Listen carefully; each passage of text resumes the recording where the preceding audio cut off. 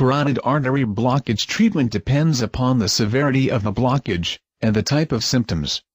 For a lesser level of blockage, most doctors prescribe medications and blood thinners to reduce cholesterol and blood clotting respectively.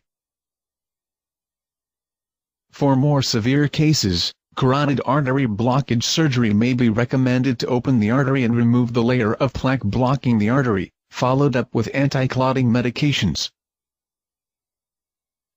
Carotid artery blockage symptoms and treatment are important to understand, as they can help one prevent stroke or paralysis.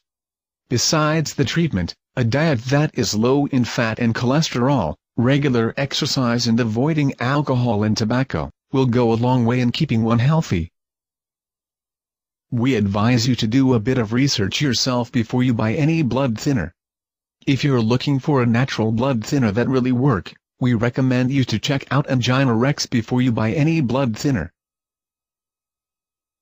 Angina Rex combines the nature's most powerful herbs that helps to thin your blood and remove arteries plaques quickly and naturally within days, all without the devastating side effects of drugs. Visit Angina Rex now at www.anginarex.com.